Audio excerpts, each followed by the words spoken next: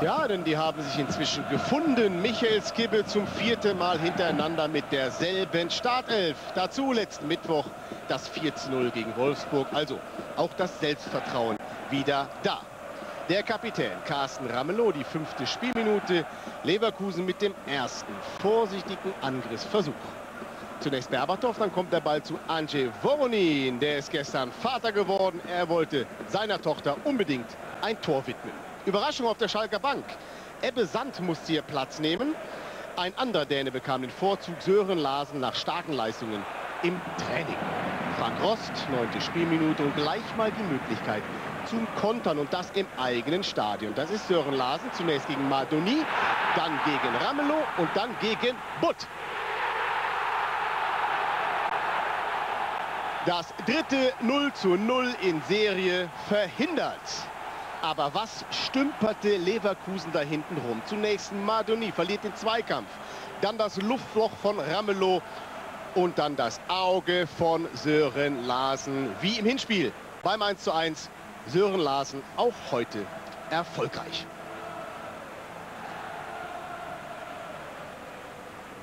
Und der Trainer Mirko Slomka. Alles richtig gemacht beim Wechsel. Larsen für Sand und Sören Larsen, der bedankte sich beim Chef.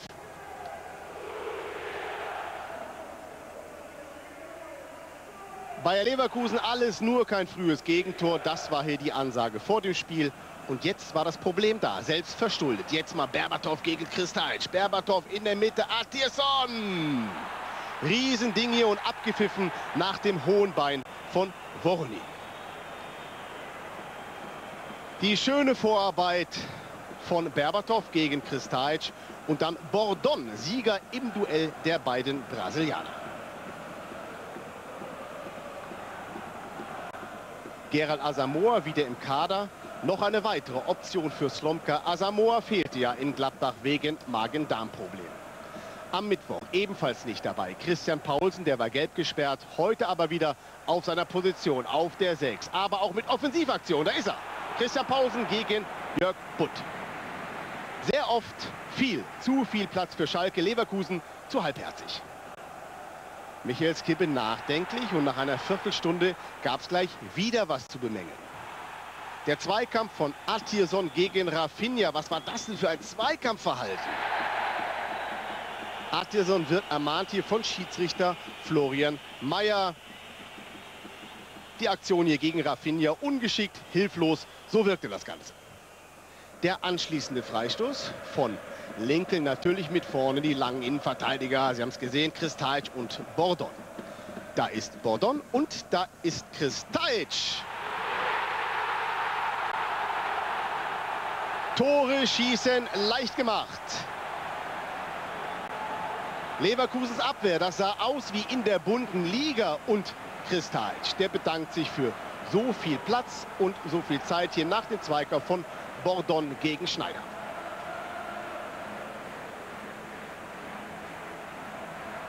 Nach knapp einer halben Stunde reagierte Skibbel, brachte Paul Freier für den völlig indisponierten Atierson ein Offensivzeichen also. Aber nach vorne spielte weiter nur Blau-Weiß. Das ist Rafinha, Rafinha im Zusammenspiel mit Lincoln. Wieder Rafinha und vorne wartet bei Ramovic gegen Juan 3-0. Bei Ramovic und schöne Grüße an seine Fans. Sein erstes Tor für Schalke. Aber Leverkusens Defensive ein Desaster. Ein ganz simpler Doppelpass mit Ansage hier zwischen Lincoln und Rafinha. Und dann bei Ramovic gegen Juan und gegen Maduni.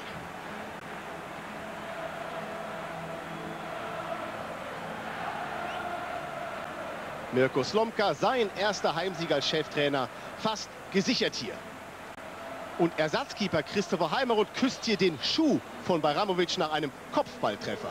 Lustig ging es zu auf Schalke, nur für ihn nicht für Michael Skibbel. Wenige Minuten noch bis zur Pause. Das ist der eingewechselte Paul Freier. Bernd Schneider machte viel über die rechte Seite und da ist Voronino und der Ball ist plötzlich drin. Schalke ließ sich hier anstecken von Leverkusen. Nachlässig und 1,78 Meter Voronin Kopfballsieger hier gegen 1,90 Meter Bordon. Andrzej Voronin, das Tor für Töchterchen Mascha und für Leverkusen. Doch noch ein Erfolgserlebnis, aber noch war nicht Schluss. Madoni am eigenen Strafraum, Leverkusen weiter schwer verunsichert. Linkel hinten wartet Sören Larsen, Sören Larsen! Es blieb beim 3 zu 1 nach den ersten 45 Minuten. Rudi Völler und Klaus Fischer, kurzer Plausch zweier ehemaliger Torjäger. Und die wussten, auch letzte Saison stand es hier 3-1 zur Pause. Und am Ende hieß es aber 3 zu 3 und er war natürlich dabei, Rudi Assauer. Und ich verspreche Ihnen, liebe Zuschauer, jetzt bloß nicht aufstehen. Es wurde ein irrer Fußballnachmittag, direkt nach Wiederanpfiff. Genau 23 Sekunden. Schalke machte den Auftakt durch Lincoln und wieder nach Stellungsfehler im Leverkusener Abwehrsieb. Michaels Kippe ließ jetzt volles Risiko spielen. Cinovic im Spiel, Ramolo draußen. Hinten nur noch zwei Innenverteidiger. Mann gegen Mann ließ er spielen. Dadurch Überzahl im Mittelfeld und Platz. In diesem Fall hier für Bernd Schneider. Bernd Schneider, jetzt Kapitän für Ramelow und Berbatov. Nur noch 2 zu 3. Und noch waren 40 Minuten zu spielen. Und erneut ein Stellungsfehler von Bordon. Und Berbatov, der trifft jetzt zum zweiten Mal in dieser Woche. Das hat er auch schon lange nicht mehr gehabt. Michael Skibbe, hier geht doch noch was. Denn auch Schalke hinten alles andere als stabil. Nochmal zur Erinnerung, 3-3. Das gab es hier schon zweimal zwischen diesen beiden Mannschaften. Lincoln. Kevin Kurani. Einfach mal probieren und der ist drin. 4 zu 2.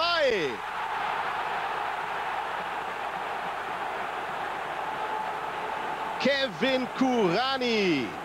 Der Schuss eher eine Notlösung, aber Jörg Butt passt sich hier dem unterirdischen Niveau seiner Vorderleute an. Und Kevin Kurani, endlich ein Tor von ihm nach mehr als zehn Bundesliga-Stunden. Und dafür war er sehr, sehr dankbar. Knappe halbe Stunde noch. Schafft Leverkusen noch einmal den Anschluss? Zunächst Schalke wieder mit dem starken Rafinha, dann Sören Larsen. Sören Larsen 5-2. Vier Monate hat er nicht getroffen, jetzt gleich im Doppelpack. Und wieder ein Fehler in der Abwehr. Diesmal Bernd Schneider. Gut als Torvorbereiter, aber dann dieser Stellungsfehler und klasse gemacht von Sören Larsen. Chapeau, Herr Slomka. Wir ziehen den Hut für diese Aufstellung.